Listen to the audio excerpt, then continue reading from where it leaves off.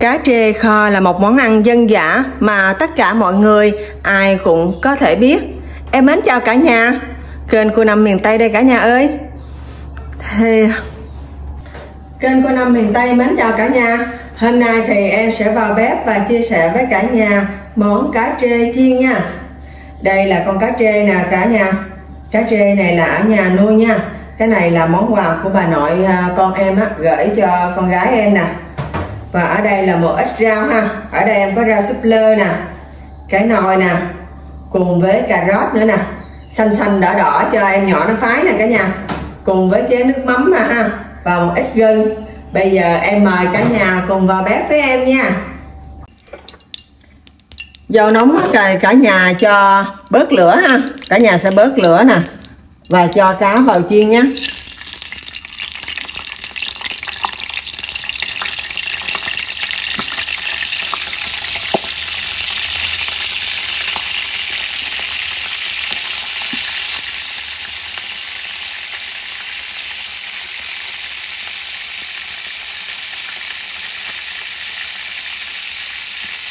cá chê thì em không có biết mần cả nhà ơi.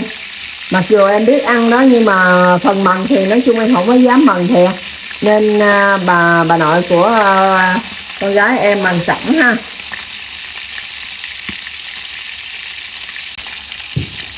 Lúc trước á, thì em cũng có dám mần cá nữa đó cả nhà. Mần cá rất là bình thường. Nhưng à, một hôm á em đang mần con cá. Mặc dù em đã giết nó rồi đó nhưng mà nó lại sống lại nè nó nhảy lung tung luôn. Em sợ quá, từ đó thì sao thì em không có dám mần cá nữa nè. Thường thì em ra ngoài tiệm mua thì em mượn tiệm mần. Chứ ờ, sợ quá. rồi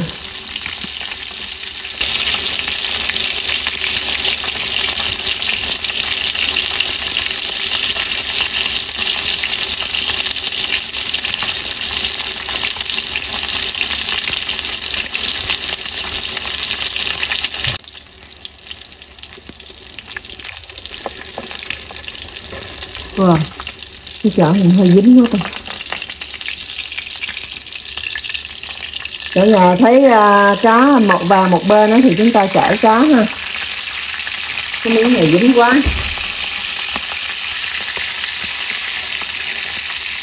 Như dầu quay chút xíu này cho nó cá nó thấm đều Nó thấm được dầu đều Cá nó mau chín.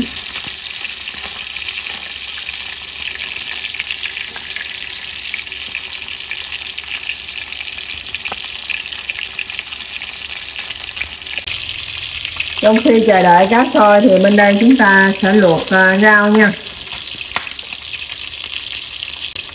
Em sẽ cho vào đây là một ít dầu ăn nè.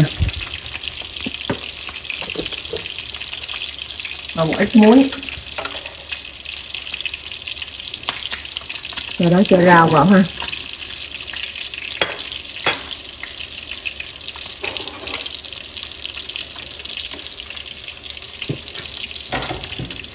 Cho luôn phần rau súp lơ vào luôn.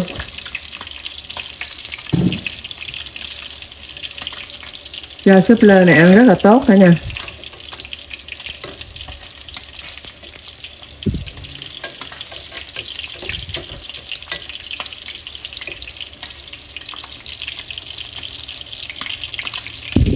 con gái dặn là sáng mẹ dậy sớm nhớ luộc cho nó một ít rau nè.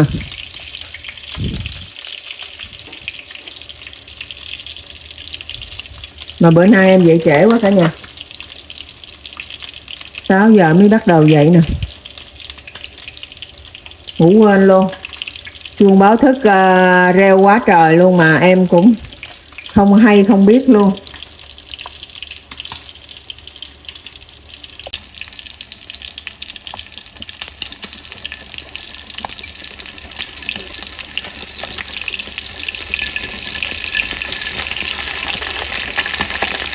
Cá lúc này cũng đã chín rồi nè cả nhà. Cái cục này lớn quá, em phải để lại chút xíu. Đây, cái miếng cá này đã chín vàng ha.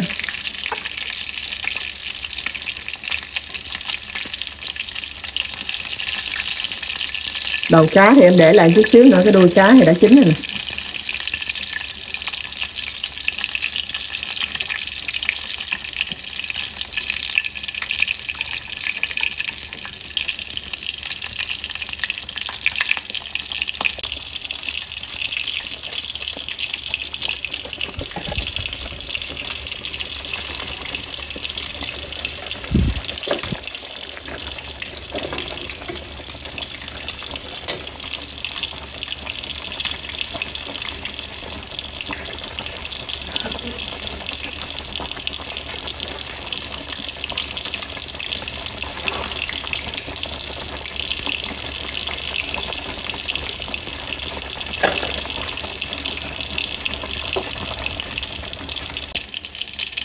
Cá đã chín vàng, dậy mùi thơm rồi đó cả nhà. Quá thơm luôn, thơm nước mũi luôn. Rồi, bây giờ em tắt bếp nhé. Chín hết rồi. Cả nhà nhìn thấy dĩa cá không? Dĩa cá thì vàng ươm nè. Rất là giòn nè. Hấp dẫn quá đúng không cả nhà? Cả nhà nhớ cho em một bình luận nha lúc này thì phần rau của chúng ta cũng đã chín rồi nè cả nhà. Mềm này. Bây giờ em sẽ gấp ra từ từ bớt ha. Bắp cải sẽ gấp ra trước nè. Bắp cải người ta còn ở quê em, người ta còn gọi là cải nồi đó cả nhà.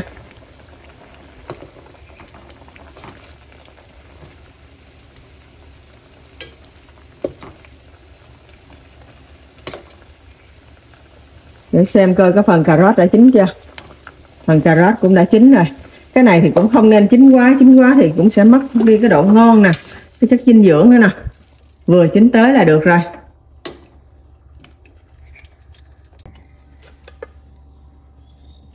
Trang trí một chút xíu cho nhìn bắt mắt chút nha cả nhà.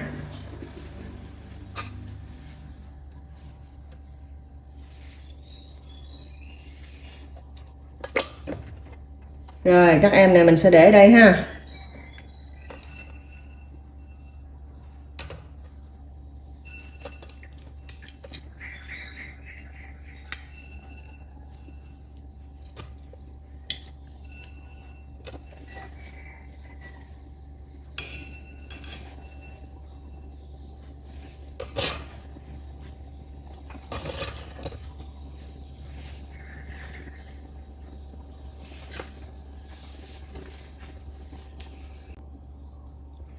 Dĩa rau xanh mướt, nhìn là muốn ăn liền đúng không cả nhà?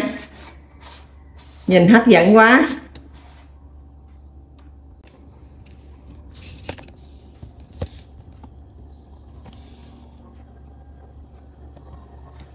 Bây giờ em sẽ cho cái phần à, gừng vào nha.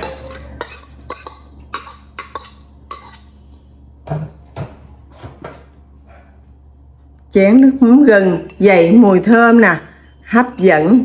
Khi chấm với cá, kèm thêm một miếng rau nữa thì còn gì bằng mời cả nhà cùng ăn với em nhé. Bữa ăn sáng thật là đậm bạc ha. Cũng không có gì gọi là cao sang cả. Chỉ với một con cá nhỏ nè và một ít rau ăn kèm cùng với chén nước mắm gừng thì cũng đủ ra đầy chờ đủ chất dinh dưỡng rồi. Bây giờ em mời cả nhà cùng ăn nhé cá trê thì các bạn ăn khi đó thì nhớ chấm vào mắm gừng nè, để tăng theo cái độ đậm vị của món ăn nè. Cùng với một ít rau củ.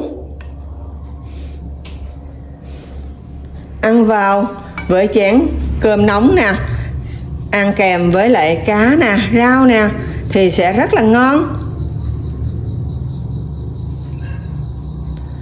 Thôi thôi, tới giờ em phải đi làm rồi. Em xin chào tạm biệt cả nhà. Hẹn gặp cả nhà vào clip sau nhé.